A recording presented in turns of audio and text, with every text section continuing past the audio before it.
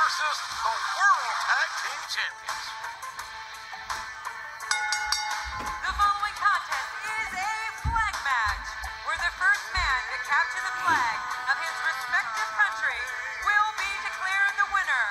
Representing Iran, weighing in at 206 pounds, Daivari. What the opportunity here for Daivari to represent his uh, his heritage.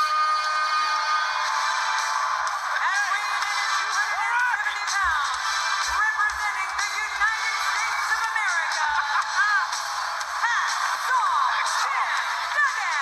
I love Hacksaw Jim Duggan. Not just another pretty face, let me tell you. Duggan, originally from Glens Falls, New York, played football at Southern Methodist University. How's that for Americana?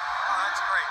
And remember, this man's the first man to capture his country's Look out, look out, look out, flag. Hacksaw!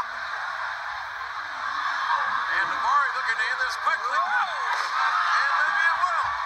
Well, Hacksaw Jim Duggan been representing the United States in this business for over 30 years, JR. What a veteran. I remember him from the days of Mid-South Wrestling, and old Hacksaw climbing to the top.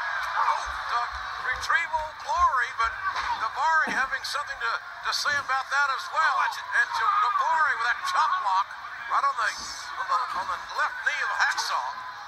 Certainly Daivari not on uh, yours or my Christmas card list, JR. This guy, uh, you know what? He's a long time ago. He, he made me wish his parents had never met. And uh, Oh, out. oh, nice move by Daivari, like him or not. That was a very effective move on the knee of Hacksaw Jim Duggan. And man to retrieve his his country's flag wins the match. Poor Mr. McMahon, not the uh, not the happiest father I've seen Was, lately. was that a unicorn?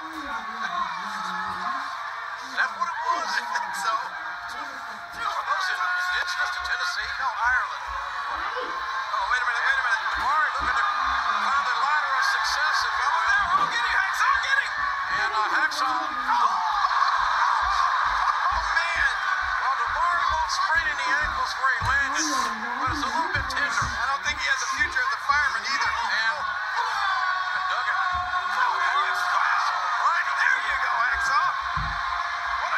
A shot. Hacksaw Duggan just introduced his uh, right hand to Daivari rather abruptly. He did. And now Daivari trying to prevent Duggan from winning this match.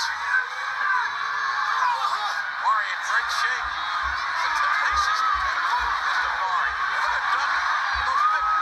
Big, right and. That's it. And south, south of the Mason-Dixon line,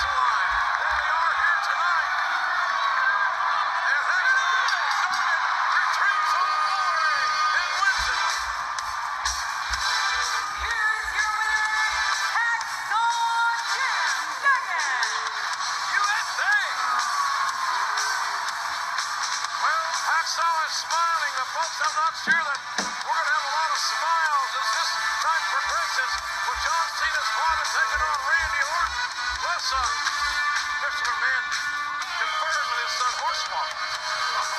well, I think he wishes Hornswoggle would go back to the cottage and play with the other dwarfs.